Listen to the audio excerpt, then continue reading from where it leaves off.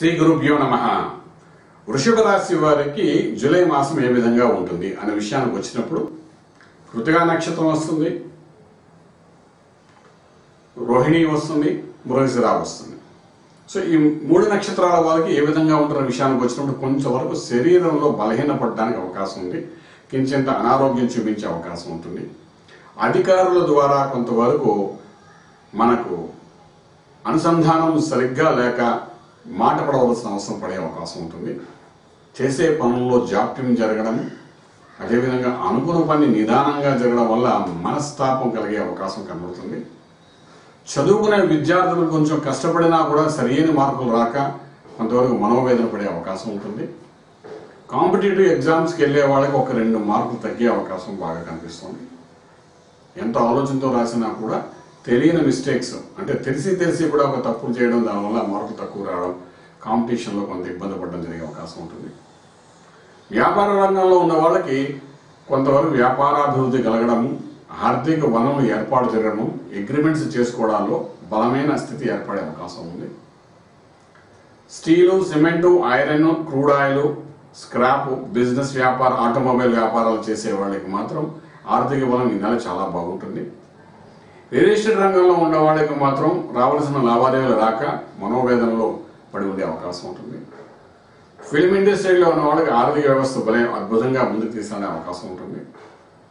వివాహం కోసం చేసే ప్రయత్నాల వాళ్ళకి మాత్రం కొంచెం జాప్యం జరుగుతుంది. నిర్ణయం అనేది వెలువడకపోవడం వల్ల మనోవేదన పొందే అవకాశం ఉంటుంది.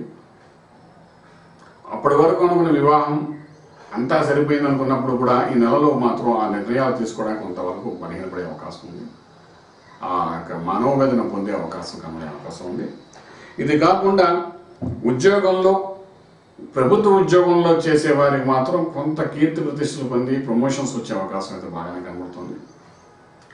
సప్తమ శని యొక్క ప్రభావం వలన అంటే శని మళ్ళా వక్రించి వృశ్చిక రాశిలోకి వచ్చాడు కాబట్టి సప్తమ శని ప్రభావం ఉంటుంది కాబట్టి శని ప్రభావం అంటే సప్తమ భావం అంటే కలత్ర భావం కాబట్టి భార్యాభర్తల మధ్య కొంత అన్యోన్యతలో ఇబ్బంది కలగడం సహజంగా ఉండే ఇబ్బంది కంటే కొంచెం మనోవేదన పొందడం ఇవన్నీ జరిగే అవకాశం ఉంది కాబట్టి ఈ రాశి వారికి అధిపతి శుక్రుడై ఉన్నాడు కాబట్టి అమ్మవారి కటాక్షాన్ని పొందడానికి చేసే ప్రయత్నంలో భాగంగా చండీ అమ్మవారి మంత్ర సాధన కానీ అదేవిధంగా దుర్గా అమ్మవారి మంత్రసాధన కానీ లలితా సహస్రనామాన్ని కానీ ఆడవాడు సాధన చేయడం వల్ల దోషం అనేది నివృత్తి అయ్యి ఈ నెల అంతా అద్భుతంగా ఉండే అవకాశం ఉంటుంది.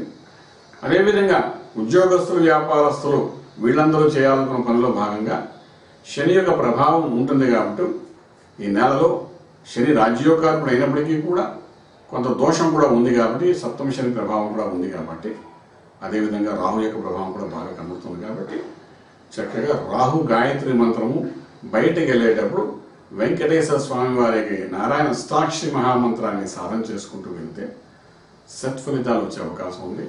రాజమార్గంలో రాజ్యం పొందే అవకాశం ఉంటుంది. శుభం వ్యాధు